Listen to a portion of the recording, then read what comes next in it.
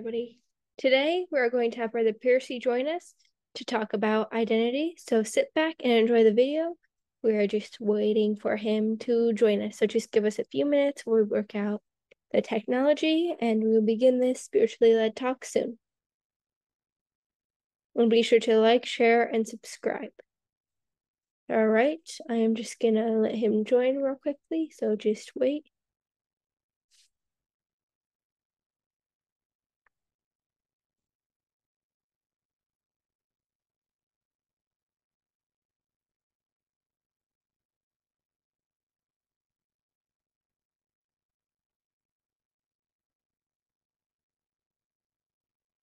Hello? Hey, hang on. I can't hear you for some reason. I'm having a little bit of trouble. Bear with me. It's not you, it's me. Guarantee it. Um, that's what it is.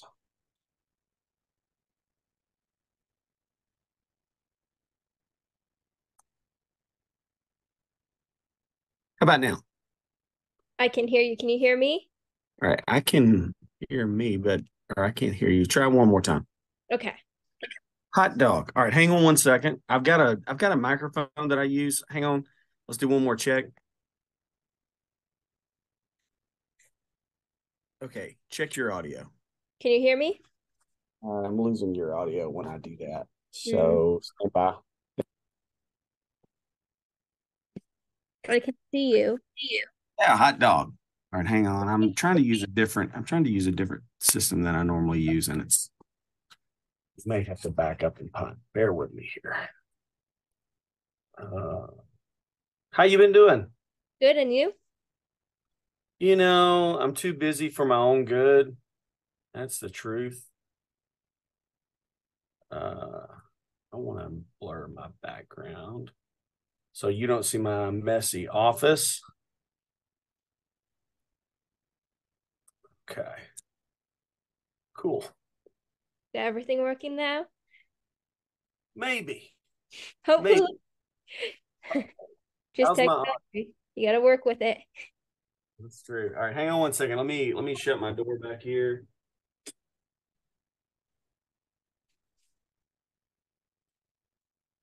How's the weather up there? It's getting warm.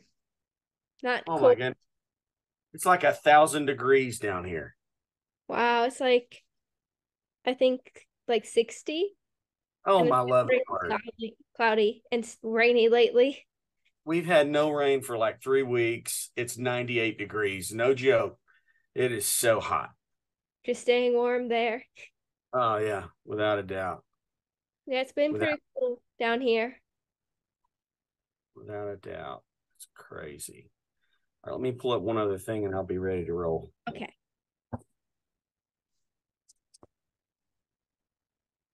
I'm ready. All right. Let's begin with the first question. What is your personal view on identity? Well, uh, first of all, thanks for the opportunity to be on your podcast. I think it's really cool. I love what you're doing. And uh, we just started a podcast. You kind of inspired me, just to tell you the truth, at my church. And so uh, we just started a podcast not long ago. So I love what you're doing. And I love this question. The personal view on identity is it's a big question but I think it's some something that we should contemplate as individuals and as church leaders. We should contemplate as well. I think ultimately, if we're thinking about identity, we have to go back to the book of Genesis, which is the origin of all things. Uh, Genesis is the beginning of of everything. It's the it's the story of of creation and and the origin, the the the original, the OG. That's what we're looking for. And so, there in Genesis, the text says that God created man in his own image. Mm-hmm. In the image of God created he him, male and female created he them. And so, if we're if we're looking at the base question, what is identity? How do we identify? It goes back to our created gender, how God created us. Mm-hmm. And a, a man created in the likeness and the image of God uh, should identify as a man or a male as a man. Uh, the same with a female, a woman as a woman. um, both are created in God's likeness and after His image. And so, at its at its core, at its at its most base elements, I think that identity begins there. It begins with uh, the understanding that those two genders were created by God exclusively mm-hmm. in His image and after His likeness. But then identity blossoms from there uh, the beautiful thing about God's creation is it is so deep and so vastly intricate.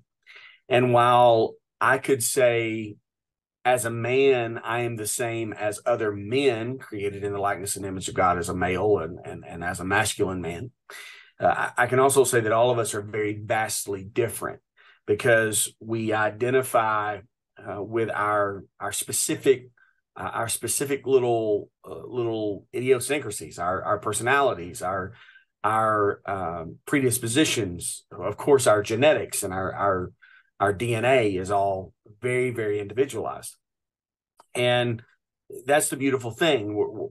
As as as my definition being biblically centered of identity goes, someone could say, "Well, that's very boring, man, mm-hmm. woman," but in reality, it's not boring at all uh, because it is out of that out of that awesome likeness mm-hmm. and imagery of God that all of the very specific and individualistic character traits of men and women throughout time and ages and even now express themselves to be the individuals that they are. Mm-hmm. A man largely identifies himself with what he does um, most men who are communicating with one another, that's one of the first questions that they ask one another. What do you do? What do you do for a living? What kind of work do you do? Mm-hmm. Men are doers and they identify as doers and they identify themselves as what they do. And so whether you're a, a, you know a welder or a lawyer, a doctor or a trash picker upper, you know, or a ditch digger or a preacher, uh, uh, you know, a, a, missionary or an evangelist or whatever it is you do, most men associate their identity with what they do.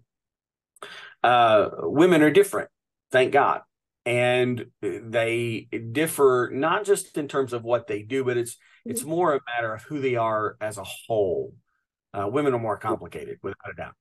And so, who they are as a whole is how they identify and most of the time as a woman matures i've seen this uh, in my in the life that i share with my wife for instance uh, her identity went from being just uh, a woman and then my wife and now to a mother role.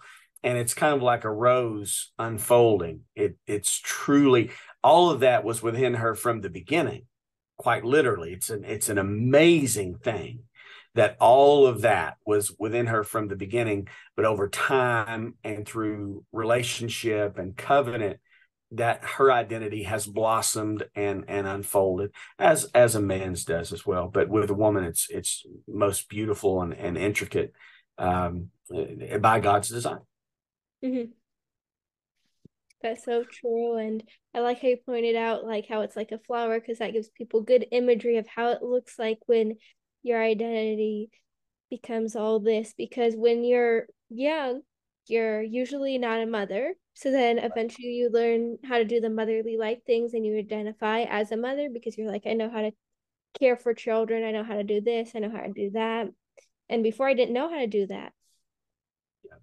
And the same is true somewhat of fathers as well. You know, men men migrate into the the role of a husband and then the role of a father, uh, you know, if God wills that, and and that's a beautiful thing as well. And the, the incredible thing is, uh, your generation has not has not had these conversations applauding these roles mm-hmm. of, of man and woman, husband and wife, mm-hmm. uh, father and mother, and and these quite literally are God's elite plan mm-hmm. for humanity. The the the identity, even God's identity, is revealed in these roles. We understand Him to be our everlasting Father. Mm-hmm. Uh, we understand that Christ was made of a woman. God sent forth His only begotten Son, made of a woman. God God chose motherhood to reveal his messiahship. And and Jesus as Messiah was the express image of the person of God. That's what the book of Hebrews says. And so even God's identity is connected to the imagery and the likeness that we see with male and female. So it's a it's a frankly you asked me a massive question you know how do I view identity? And it, it's an enormous question because ultimately we have to go back to God and his likeness and his imagery and then we also have to go forward through time through the Old Testament to the point that Jesus was born and understand that that everything that God was spiritually in the Old Testament, he is revealed to be physically in the New Testament in Christ Jesus. But but that's even taken further as it relates to us. Paul to the Colossians said that we are hid in Christ. And mm-hmm. our our only identity is when Christ is revealed, when he appears when his image and when his identity is revealed, then in him we are revealed as well. And so salvation is is another step. You know, we, we talked about the natural roles of of man and woman, husband and wife, father and mother, but then we go into the understanding the spiritual significance of those identities. And that is it, when we're saved, when we're born again of water and the spirit, we become hidden in him. And and and our identity is is is his name and and his likeness and his image and his glory.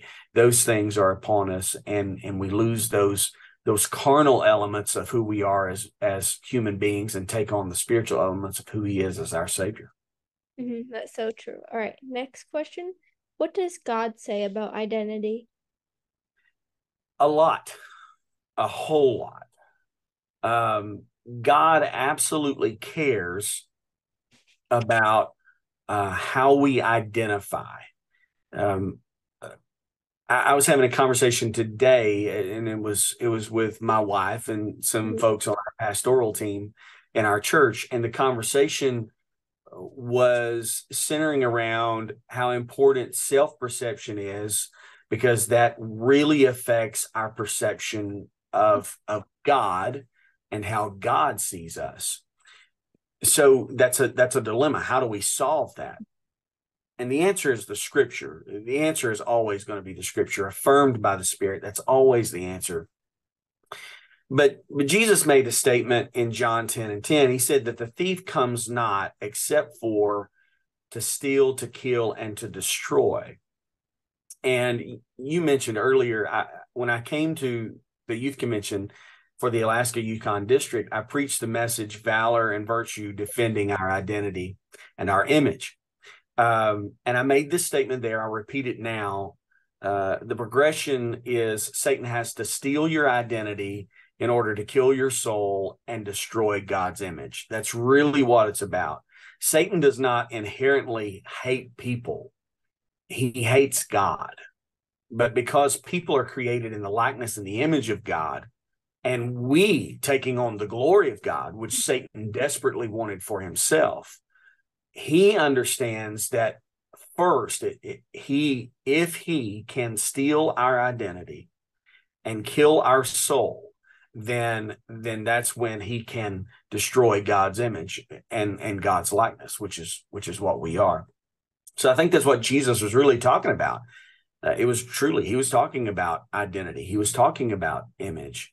Um, and and and in, then in the New Testament, uh, let me go back. In the Old Testament, imagery was was very important in terms of identity as well, uh, and that's really what idol worship is about. Uh, men and women would create graven images. This is why in the Old Testament, in the Ten Commandments, God mm-hmm. had said, "Don't make any graven image," because a graven image was not an image of God or a God it mm-hmm. was it was a reformed image of either man, mankind, or nature created for false worship, engineered for false worship. And God knew that. Um, so when he when he when he forbade idolatry, when God said, Don't make any graven images, he knew it, it, it would be this inverted downward mm-hmm. regression, mm-hmm. spiral downward if people created images that were basically just a souped up image of themselves that they worshiped and and humanity would go downward. And ultimately hu- human beings would only identify as being human and nothing else when truly we are spiritual beings not only not only mortal beings. Mm-hmm. so so god that was that was god's agenda there when he when he it wasn't god just being mean don't have any graven images. It was god saying you are more than a reflection of yourself fashioned in stone you are more than that and in our generation abby that that's I, I want to tell everybody who watches your podcast. I want to I want to tell you you are more than your Instagram post. You are mm-hmm. more than that filtered image that you're trying to put out there and get likes from your peers on. Uh, New Testament idolatry is not is not some figurine that you have on your nightstand. New Testament idolatry is is pride that is most often revealed in in social media posts. Mm-hmm. And so God God spoke of that in the New Testament when he when he talked about identity and and image and and uh, not being not being prideful or, or puffed up in in in self and in selfishness and but beyond that in the base things in Genesis chapter 1 God created man and woman. Jesus reaffirmed that in the New Testament and and he connected that to to marriage. And he said that in the beginning uh, god created male and female. And from that time god had orchestrated that a man would leave his mother and father and cleave to his wife. And so god is talking of identity there and and affirming that thing that we talked about a few moments ago when we when we talk about marriage and how how we how we grow into those roles. And they should be celebrated. And they should be they should be admired and they should be honored uh, and not defiled and disregarded. But then but then you you know you could say well what what about now? You know you're you're much too young to marry. I'm sure your parents will appreciate me saying that uh, but what about now? What about in what about in your child years and in your preteen years your adolescent years your teen years and your young adult years? Um, there those are those are years where god is is nurturing you through ministries and through uh, good wholesome parental guidance. And there is a distinction there. Um, paul illustrated that in corinthians specifically relating to uh, hair scripture says that it is a shame for a man to have long hair but if a woman have long hair it's a glory to her and so we see that image and identity are connected how mm-hmm. I portray myself with my haircut and how you portray your yourself with your uncut hair are directly linked to God's commandments of image and identity. And I got to tell you, it's not something I'm ashamed of. Mm-hmm.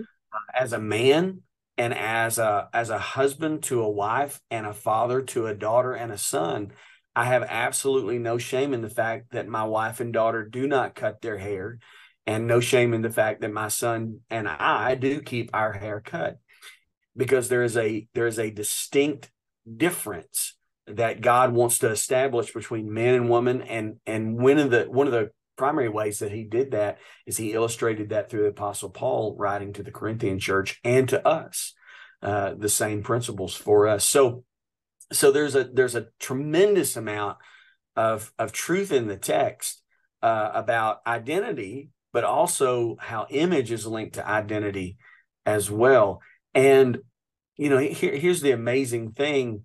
Um, that text was written about 2000 years ago, but it's still as relevant today as ever because mm-hmm. someone wanting a man or a woman wanting to, uh, wanting to, um, and we're going to breach this gap just here, wanting to go through this process of being transgender, transferring from one gender to another, that's one of the first things that they begin to change and that is how they present themselves with their hair on their head and they're trying to identify as something else with a different image than what they were born as uh, by the design of god and and that's why it's so important that that we maintain this um, it's a it's a it has never been a more clear statement that i belong to god than it is now for a man to have uh, uh, cut short hair and for a woman to have long uncut hair. Um, it's it's there is truly a, an inseparable connection between uh, image and identity. Mm-hmm.